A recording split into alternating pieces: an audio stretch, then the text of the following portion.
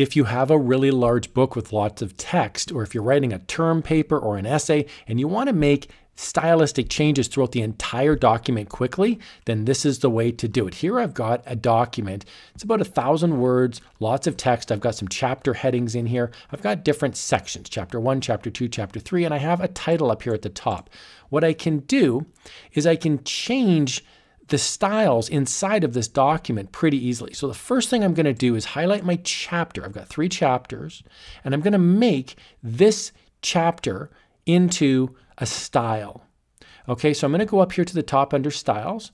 I've got my chapter one highlighted. I'm going to go down arrow. I'm going to click create style. From here, I'm going to type in the word chapter and I'm going to click OK. So now this text, when I highlight it, you'll see it comes up as chapter style. Now the chapter style, it happens to look, the font and the text size happens to look exactly like the rest of the document, but we're gonna change that right now.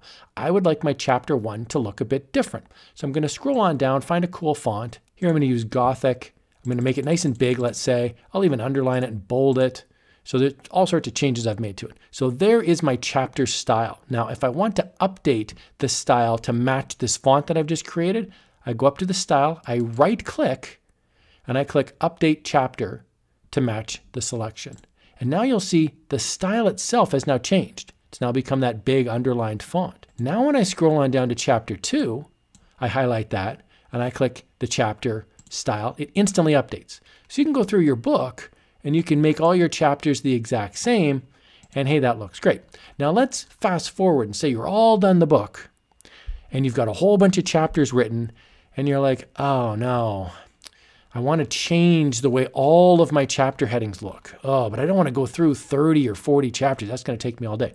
What you can do is just pick one, highlight it. So now my chapter style is highlighted, and I'm going to make it whatever I want. Let's say I want to make it red font, not bolded, not underlined. So here I'm going to pick Futura. Okay, so there, that's what I want my chapter headings to look like. You'll see chapter two below is not changed, but chapter one is.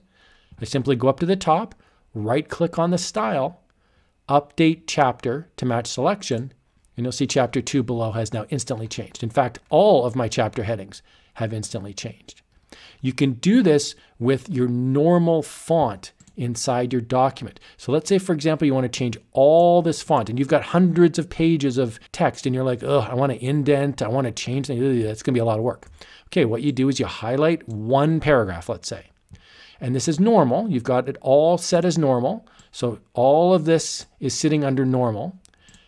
I'm going to highlight the first paragraph only.